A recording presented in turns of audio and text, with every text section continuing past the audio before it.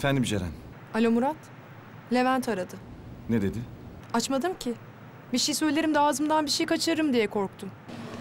Şimdi ne yapacağım bilmiyorum. Bir şey yapmana gerek yok. Unut gitsin. Ya ne demek unut gitsin Murat? Sıkıldım artık ben bu oyundan. Sürekli aramızda bir şey varmış gibi göstermekten, herkese bir ilişkimiz varmış gibi yapmaktan yoruldum. Lütfen söyle artık herkese şu gerçeği. Bizim Ceren'le bir ilişkimiz yok de. Evlenmeyeceğiz de. Hasret'le Levent de ayrılmış. Daha ne bekliyorsun ben anlamadım ki.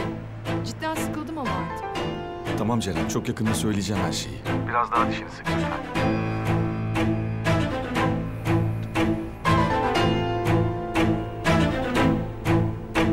Gel.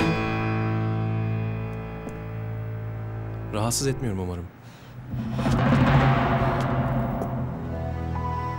Yo hayır. Ama şaşırdım sadece. Seni görmeyi beklemiyordum. Yani seni aradım ama telefonunu açmadın. Sanırım dersteydin. Buraya gelirsem ders çıkışında yakalarım diye düşündüm. Otursana. Bir şey içer misin? Ee, yok, içmeyeyim. Ee, aslında buraya özür dilemek için geldim. Dün telefonda biraz sesimi yükselttim. Biliyorsun, benim için zor bir gündü. Biliyorum. Ben Biliyorum. Biliyorum sen de çok üzgünsün. Senin için yapabileceğim bir şey var mı? Dediğim gibi, e, ben özür dilemek için geldim.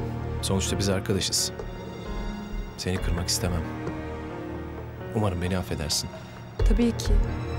Ben seni gayet iyi anlıyorum. Yaşadığın şey kolay değil.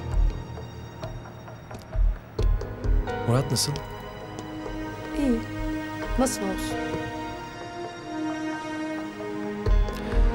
Neyse, ben gideyim artık.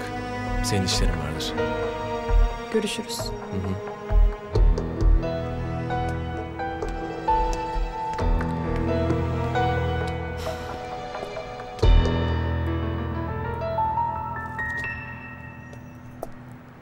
Alo Murat.